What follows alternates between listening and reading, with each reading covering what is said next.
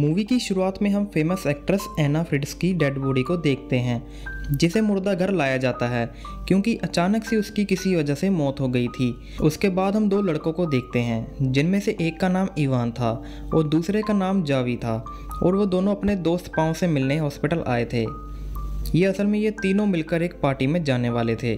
लेकिन पाव की ड्यूटी तो एक घंटे बाद ख़त्म होने वाली थी, क्योंकि पाव इसी हॉस्पिटल में मुर्दा घर में काम करता है। ये तीनों मिलकर एक पार्टी में जाने वाले थे, लेकिन पाव की ड्यूटी तो एक घंटे बाद ख़त्म होने वाली थी, क्योंकि पाव इसी हॉस्पिटल में मुर्दा घर में काम करता था। फिर वो तीनों दोस्त वहाँ से बाहर आ जाते हैं और तीनों मिलकर खूब ड्रिंक करते हैं। तभी पाव उन दोनों को एक एना फिट्स के बारे में बताता है, जिसे सुनकर इवान पाव से पूछता है कि क्या हम उसकी डेड बॉडी देख सकते हैं, जिस पर पाव उन्हें मना कर देता है, क्योंकि वो काफ़ी रिस्की था। लेकिन इवान बार बार जिद कर रहा था। उसे देखने के लिए इवान के इतना फोर्स करने पर पाँव उन्हें दिखाने के लिए मान जाता है और पाँव अपने जॉब को खतरे में डालकर उन्हें उसी जगह ले जाता है, जहाँ एना फ्रिट्स की बॉडी रखी हुई थी। वहाँ पाँव एना फ्रिट्स की डेड बॉडी के पास जाता है। और उसके चेहरे से कपड़ा हटाता है। तभी हम देखते हैं कि एना फ्रिट्स सच में बहुत खूबसूरत थी, जिसे देखकर इवान उसके डेड बॉडी से कपड़ा और नीचे करता है, क्योंकि उसे यकीन नहीं हो रहा था कि ये इतनी फ़ेमस एक्ट्रेस की डेड बॉडी के पास खड़ा है। इसलिए वह एना फ्रिट्स की बॉडी को टच करने लगता है, जिसे देखकर उन दोनों को काफ़ी अजीब लगता है, क्योंकि किसी डेड बॉडी के साथ ऐसा करना सही नहीं था। तभी इवान जानबूझकर उन दोनों को भी उसकी बॉडी को टच करने के लिए कहता है। तब जावी भी उसे टच करने लगता है। उसके बाद इवान और भी ज़्यादा उत्तेजित होने लगता है और कहता है कि मैं इसके साथ एक बार इंटीमेट होना चाहता हूँ। तब जावी उसे ऐसा करने से मना करता है। लेकिन इवान जिद पर अड़ गया था और वो इसलिए ऐसा करना चाहता था क्योंकि वो एक बहुत खूबसूरत फ़ेमस एक्ट्रेस थी। फिर चाहे वो ज़िंदा हो या मुर्दा, उसे कुछ फ़र्क नहीं पड़ने वाला था। तभी पाउन दोनों को बताता है कि मैंने भी एक बार ऐसा किया था और मैं भी इसके साथ इंटीमेट होना चाहता हूँ। पर जावी कहता है कि ये सब गलत है। उन्हें ऐसा नहीं करना चाहिए, लेकिन अब वह दोनों उसके दोस्त हैं। इसलिए उसको उनकी बात माननी पड़ती है। चाहे वो उनकी तरह ना करना चाहता हो, पर फिर भी उसे मानना पड़ेगा। फिर वो तीनों ड्रग्स लेते हैं। उसके बाद पाव और जावी एक अलग रूम में आ जाते हैं और उधर इवान उसके साथ इंटीमेट होने लगता है। फिर इवान के बाद पाव जाता है और वो भी उसके साथ ऐसा ही करता है। इसी दौरान हम देखते हैं कि अचानक से ऐना की आँख खुल जाती है। वो दोबारा ज़िंदा हो गई थी और जब पाँव ऐना को ज़िंदा देखता है तो वो काफ़ी डर जाता है और चिल्लाने लगता है। तब चिल्लाने की आवाज़ सुनकर जावी और इवान भी वहाँ पर आ जाते हैं। तब पाँव उन्हें बताता है कि ऐना ज़िंदा हो गई है। फिर ऐना को ज़िंदा देखकर वो दोनों काफ़ी घबरा जाते हैं, क्योंकि ऐना को पता था कि उन दोनों ने उनके साथ गलत किया है और बाहर जाकर वो पुलिस वालों को ज़रूर सब कुछ बता देगी। कि मुर्दा घर में उन दोनों ने उसके साथ क्या किया। तब ये सोचकर इवान ऐना को मारने का प्लान बनाता है, क्योंकि वो कोई भी रिस्क नहीं लेना चाहता था। लेकिन जो भी यहाँ पर ऐना की मदद करता है, और उसे कपड़े से ढक देता है, क्योंकि वो इवान की बात पर सहमत नहीं था कि वह उसे मार डाले। तब जावी इवान से कहता है कि तुम्हें ऐना के साथ गलत किया है। उसकी सज़ा तुम्हें मिलनी ही चाहिए। इस बात पर उन दोनों के बीच लड़ाई हो जाती है, और इस लड़ाई में इवान अपने दोस्त को बहुत मारता है। तभी पाव आकर उन दोनों की लड़ाई को रोकता है। इस वजह से उसके सर में गहरी चोट लग जाती है, इसलिए उसके सर से काफ़ी खून भी निकल रहा है। तभी वो दोनों दोस्त उसे फ़र्स्ट एड देने का सोचते हैं, लेकिन ये दोनों उसे बाहर तो ले जा नहीं सकते थे।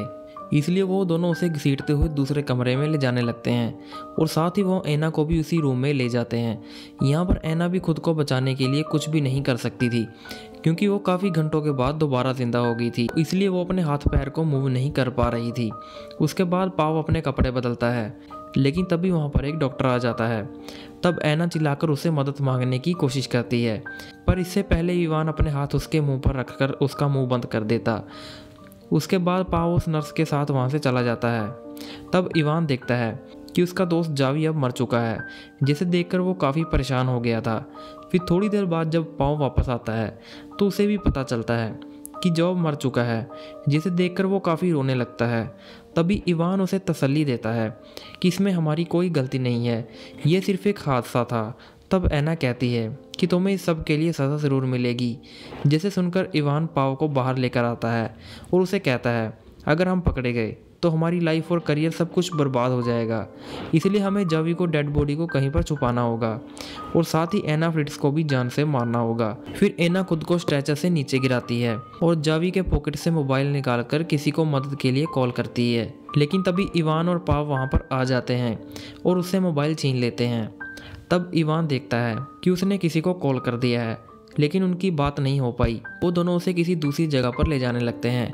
तभी जावी के मोबाइल पर कॉल आने लगती है, और ये उसी की कॉल थी, जो नंबर एना ने डायल की थी। फिर इवान जैसे ही कॉल उठाता है तब ऐना चिल्लाकर उसे मदद मांगने की कोशिश करती है। लेकिन पाव उसके मुँह पर हाथ रखकर उसका मुँह बंद कर देता है। इवान उसे रॉन्ग नंबर कहकर कॉल काट देता है और ऐना को रूम के अंदर से ले जाकर उसे थप्पड़ मारता है, जिस पर ऐना उसे कहती है, तुम्हें इस बात के लिए सज़ा ज़रूर मिलेगी। तभी इवान चिल्लाकर कहता है कि मत भूलो कि तुम थोड़ी देर में मरने वाली हो। बार इवान कंटेनर लेने के लिए वहाँ से बाहर जाने लगता है, ताकि वो जैवी की डेड बॉडी को उसमें डालकर कहीं पर ले जा सके। और अब पाँव भी ऐना के हाथ पैर बांधने लगता है। तब ऐना कहती है कि तुम्हें इवान का साथ देने की कोई ज़रूरत नहीं है, क्योंकि तुम्हारी कोई गलती नहीं है। ये सब उसी की गलती है। लेकिन पाव उसके मुँह पर टेप लगाकर उसका मुँह बंद कर देता है वो दूसरे कमरे में जाकर वहाँ पर लगे हुए खून साफ़ करने लगता है। तभी इस बात का फ़ायदा उठाकर ऐना किसी तरह रेंगते हुए वहाँ से बाहर आ जाती है।